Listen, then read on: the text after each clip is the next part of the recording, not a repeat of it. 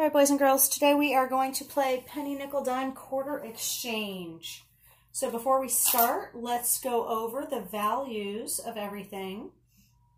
A penny is copper, small, does not have ridged edges, has smooth edges.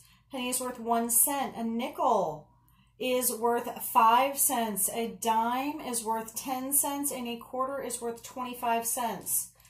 So this game helps us not only practice our money skills, but we have to do mental math addition. We have to do regrouping and exchanging. Um, we're using counting up strategies and a lot of the ways that you count on a number line are the ways that you count in this game. So it's also a good group game, but you can play it by yourself and you can play it with things that you have at home. Your parents probably have some dice at home. If not, you can grab them at the dollar store. Um, and everybody has a change jar. So let's go ahead and get started.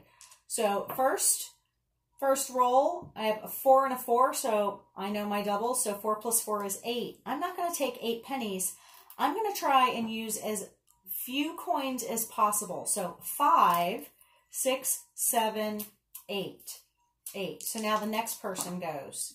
So 3 plus 1 is 4. Well, the only way to make 4 is with pennies. So one, two, three, four. But now, as I look, I have more than 5 pennies. One, two, three, four, five. I'm going to take these 5 pennies and I'm going to exchange or regroup them for a nickel. So 5 ones equals 1 5. Now, I have two fives, two nickels. I can regroup, I can exchange my two nickels for a dime. Now there's no more exchanging, so I'm going to count up 10, 11, 12. Next person's turn. 5, 3 plus 2 equals 5. I'm going to just take it with a nickel. That's the easiest way to do that. No regrouping. 5, 15, 16, 17.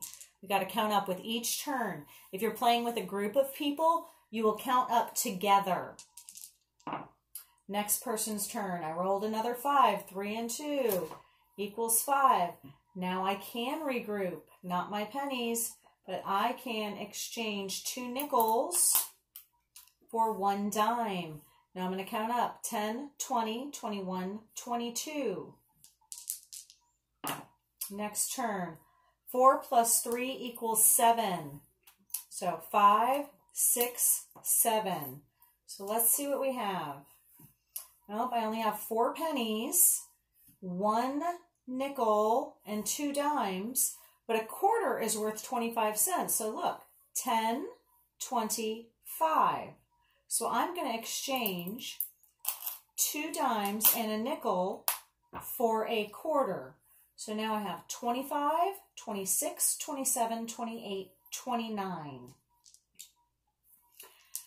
Next roll, two, one, two. Do I have more than five pennies? Yes, I do. One, two, three, four, five. I exchange five ones for one five. That five is a nickel. Please, when you're doing your exchanges, say out loud what you're doing as you're touching the coins, as you're counting them. So now I'm going to count up. 25 plus 5 is 30, plus 1 more is 31. Next turn. 6 plus 1 is 7. 5, 6, 7. So now I have three ones. Oh, but look at that. I have two fives. So I'm going to exchange two fives for a 10. Two nickels equals one dime.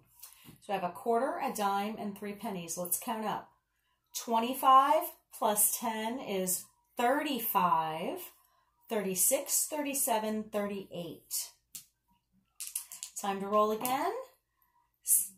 4 plus 2 equals 6. 5, 6. Let's see. I don't think I can make any exchanges. Only four pennies, one nickel, one dime, and one quarter. Notice how I keep lining them up in the order of value to make it easier for me to count. I still keep them separated. 25 plus 10, 35 plus 5, 40, 41, 42, 43, 44. All right, so now let's roll again. 5 plus 4 is 9.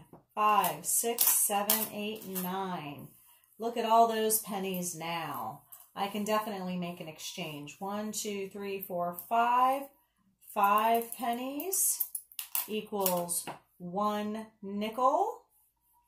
Let's see, one, two, three nickels.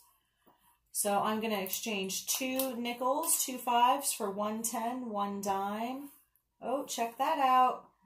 I have two dimes and a nickel, 10, 20, 25. Remember, a quarter is worth 25 cents. 10, 25 for 25. So now we're going to count up. Now it gets a little bit harder because each of these is worth 25.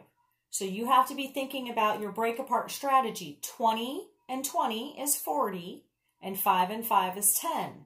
So 25 and 25 is, that's right, 50. 25, 50, 51, 52, 53.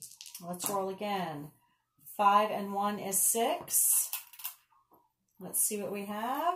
Oh, not enough pennies to exchange. Nothing else to exchange, so let's just count up.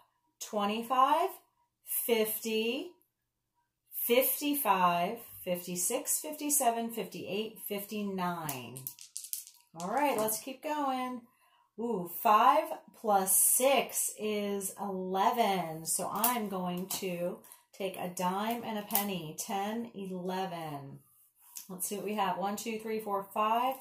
I can exchange 5 pennies for 1 nickel.